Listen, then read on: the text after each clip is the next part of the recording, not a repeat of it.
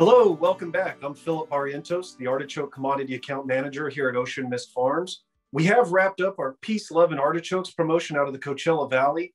However, we are still going strong with artichokes as we begin to transition here into our Castroville area. I want to specifically talk to you today about purple artichokes.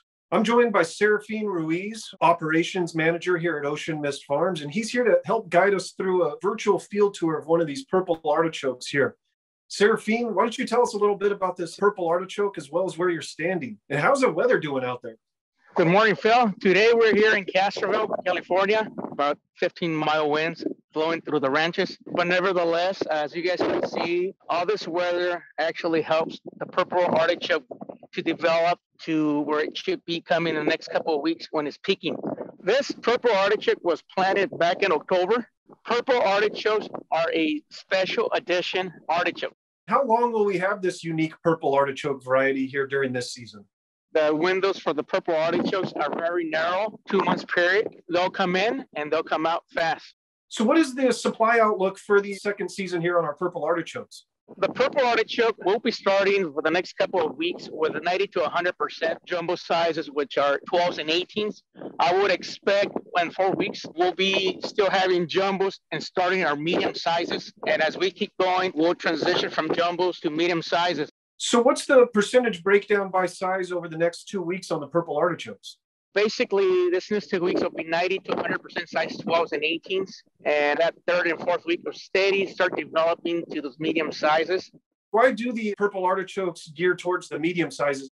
The, the reason the purple artichokes goes towards more medium sizes is because they're crossed with one of our other varieties and they have the tendency to open up quicker. We have to harvest them on a rotation faster than our other varieties so that our quality is superior.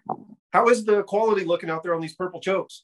The purple artichoke quality is looking very superior, even being our second season. If you look at the artichoke, the artichoke has a very nice, beautiful color, and the ripening is developing like it should. That sounds great. Can you cut one up and show us what they look like while they're on the inside? I will cut an artichoke to show you the heart of the artichoke. As you guys can see, the artichoke in the middle, big meat. That quality looks great. Any chance you can take us in a little closer just to look at the plant there? This is our purple artichoke plant. We have our primary artichoke, which most of our jumbos will be coming in the next couple of weeks. Then you got your secondary artichokes. You see the medium sizes developing also with small babies in the bottom within the next couple of weeks. How do these artichokes taste and, and how do they cook? Purple artichokes are delicious. They're very unique. This purple artichokes cook up the same way as our traditional green artichokes.